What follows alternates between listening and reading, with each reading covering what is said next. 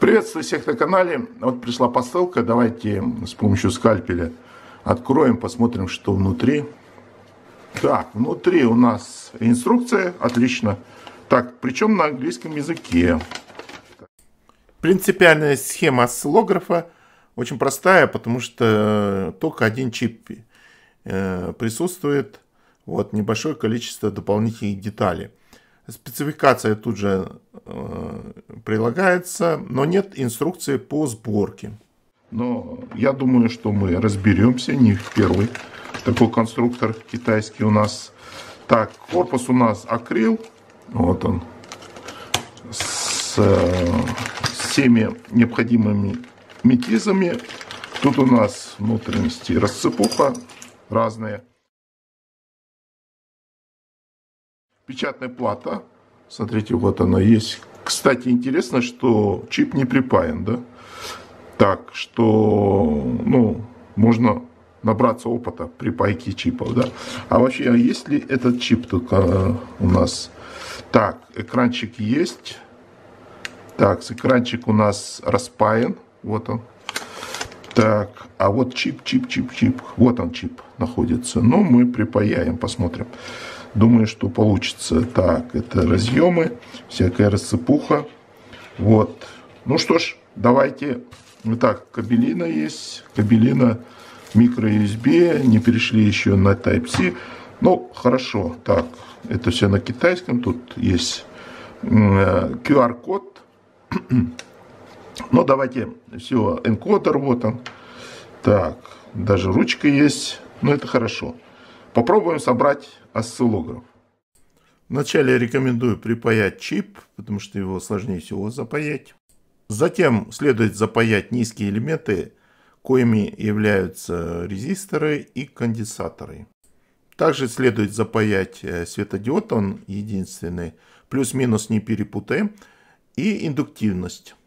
Далее запаиваем э, гнездо USB и выключатель.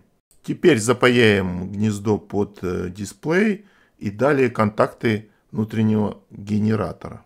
Далее более высокие элементы, это у нас потенциометры и гнездо для входного сигнала.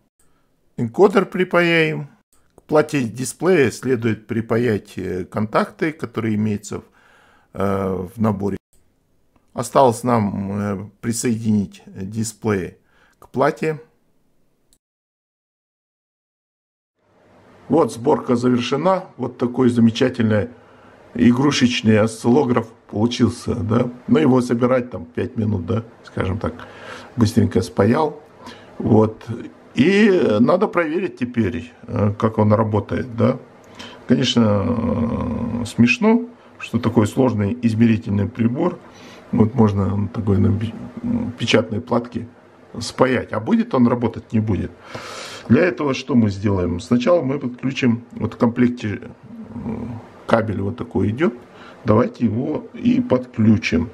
Значит, тут надо э, подключить именно э, вот эту э, верхнюю часть. Почему? Потому что она носитель сигнала. Да? Нижняя это у нас просто земля. Вот тут видно все. Значит, хотя не обозначено тут, но понятно. Так, закрутим все это дело. Ничего лишнего дополнительно, там инструментов, каких-то генераторов я использовать не буду специально для того, чтобы ну, начинающим радиолюбителям именно такой осциллограф как бы предназначен. И у них не будет ни генератора, там ничего такого сложного. Так, здесь у нас контакты, внутренний генератор, тут у нас синус, э, кривая и прямоугольная кривая должна быть, по идее. Но подключу напряжение. Так, сначала выключим, чтобы не произошло что-то неприятное. Так, кабелина жесткая. Ну, это в комплекте идет такая кабелиныша. Так, включаем. Опа, заработала. Так, ну отлично. Так видно, наверное, да. Может засвечивает изображение. Но вот, как говорится, давайте я лишние лампы отключу, чтобы было виднее. Ну, такое впечатление, что лучше стало, да. Видно экранчик, тут у нас два режима э, запуск рабочий и остановка. Все, э, в принципе. Это у нас уже чувствительность мы меняем. То есть размах амплитуда будет меняться. Соответственно, ну все настолько просто, что это как раз и является преимуществом данной схемы. За копейки можно первый опыт такой начинающему радиолюбителю получить работы с осциллографом. Значит, суть работы заключается в том, что надо сигнал подать на осциллограф и посмотреть на кривую, какая будет. Ну, давайте с синуса начнем. Так, будет, не будет. О, что-то появилось. Так, надо крутить. О, вот появился. Вот он синус. Топ, топ, топ, топ. Даже такой большой. Так, ну автоматически он ставится. Стоп, остановка. Вот, вот такой синус. Значит, вот он. Тут это уже помехи от меня идут, наверное. Вот он, идет синус. Ну, размах синуса меняется в зависимости от того, как я кручу тут. Вот, все в руках, помехи дополнительные.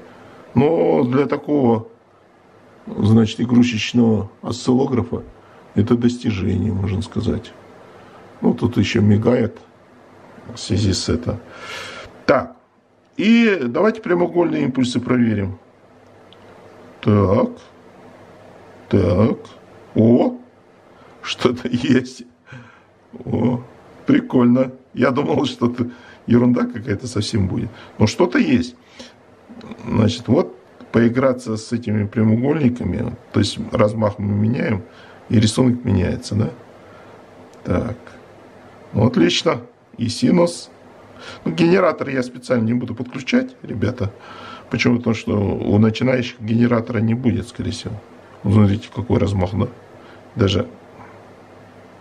Так. Так. Ну, в принципе, все функции тут. Тут еще потенциометры есть, можно порегулировать, поработать с ними. Но, скажем, это оставим на, на ваше внимание, если вы будете собирать. Вот. В завершение я еще и крышку сделал. Корпус вот такой он. Вот. Самый такой простой. Но зато внутри уже хорошо смотрится. Вот, неплохо. Так, подведем итоги. Игрушка, как игрушка получилась, да, нормальная, хорошая игрушка, потому что вначале э, начинающие радиолюбители, он будет бояться осциллографа ввиду большого количества опций, кнопок и так далее. Вот. А вот такой осциллограф собрать самому, значит, потренироваться, поизучать, покрутить, поломать, как говорится, все это. Пока не поломаешь, ничего не поймешь. Вот, вот это как раз то, что годится за 6 долларов. Это очень даже неплохо. Неплохо получить удовольствие при сборке. И э, для начинающего, значит, вначале посмотреть, что такое осциллограф и как он работает. Вот. Всем спасибо за внимание. Не забываем подписаться на канал. Будет много чего полезного и интересного. Пока.